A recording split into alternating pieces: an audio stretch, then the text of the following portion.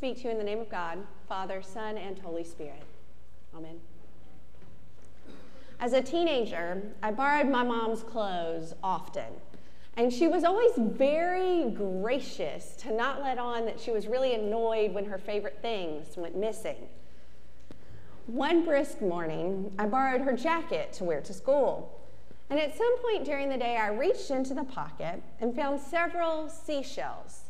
Now, it's important that you know I grew up in Montgomery, Alabama, which is a good three hours from any seashell procuring area. So it was kind of odd to reach in and have seashells in the pocket. So when I got home, I asked her about the shells. She told me that she collected them when amazing things happened to her. One was the, from the beach near her childhood home, where she would go and sit on the pier with her father and have those deep heart to hearts that sometimes mothers and daughters have, mothers and fathers have. And another one of the seashells was from when she was dating my stepdad, and they went to the beach together. And it was on that trip that she knew that he was the one for her. So she reached down and picked up a shell and put it in her pocket. She kept these shells in her pocket as a touchstone, a way for her to connect with those holy moments in her life. She could reach in and remember her dad years after he passed away, or reach in and smile, remembering that moment with my stepfather. She kept them in that jacket because she always knew where they were, and she could reach in and get them at any time. Since she taught me this practice at a young age, I've been able to pick up items of holy moments throughout my life and keep them and hold on to them. I kept them in my backpack in college, in my desk once I began working, and now they're in at our home in an heirloom piece of furniture that's important to our family. It's a lovely and holy thing to have these touchstones, to be able to reach and reconnect with my own encounters with God anytime I'd like. Today on Transfiguration Sunday, our readings are full of amazing encounters with God. In our Old Testament lesson, we hear of Elisha viewing Elijah's ascension into heaven.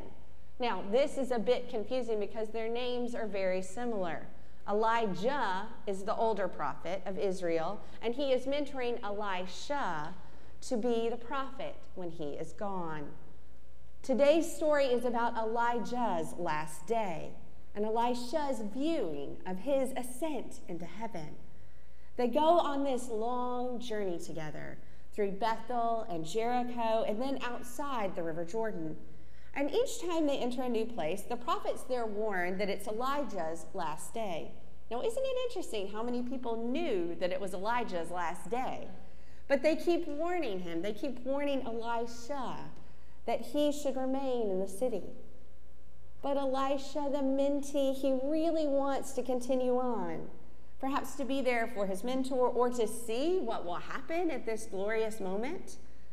And after all the cities, they enter into the wilderness. And Elisha asks for a double portion of his mentor's spirit.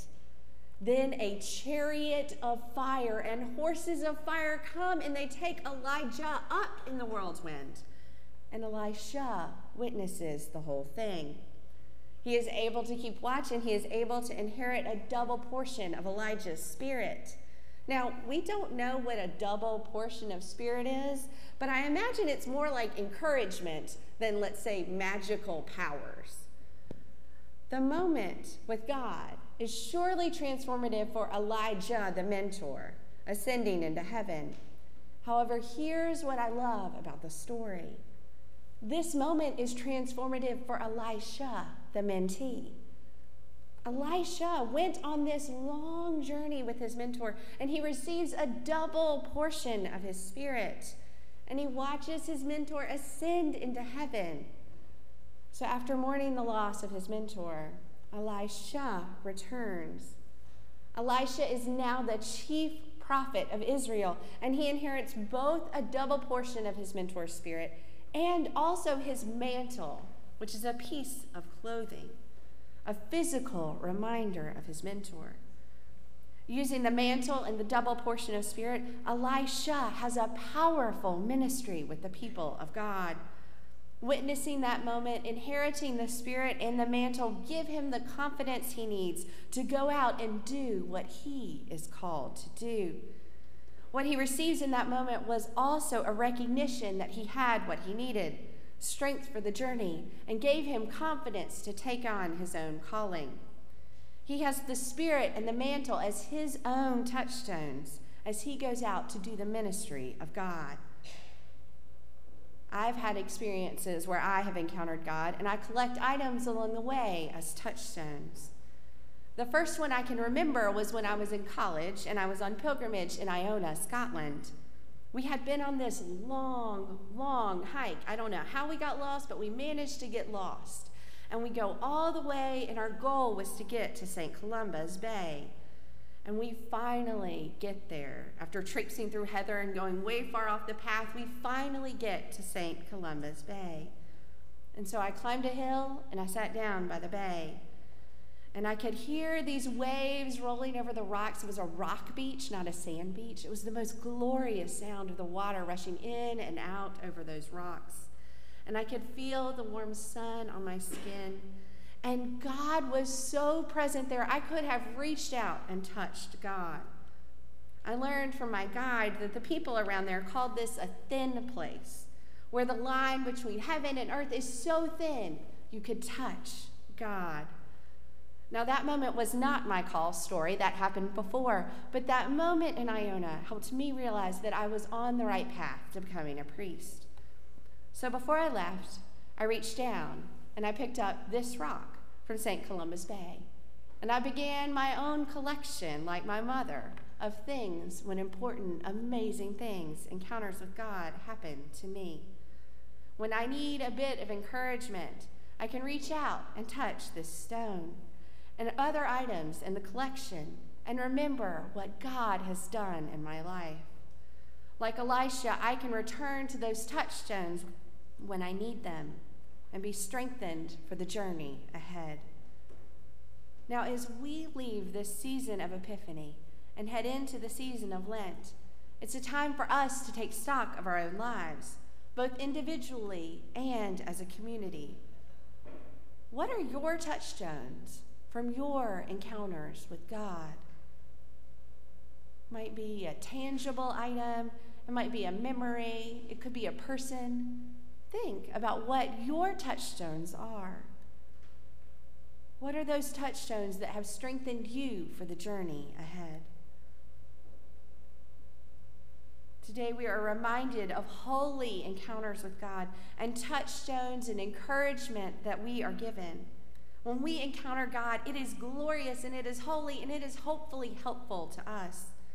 Those encounters give us strength for the journey to continue to do the work God has given us to do. Just like Elisha, you do not need magical powers to do amazing things here in Rye. You already have the gifts and the talents and the resources you need to continue to do God's work here. But sometimes a little bit of confidence helps, right? Sometimes it's nice to touch in with those touchstones.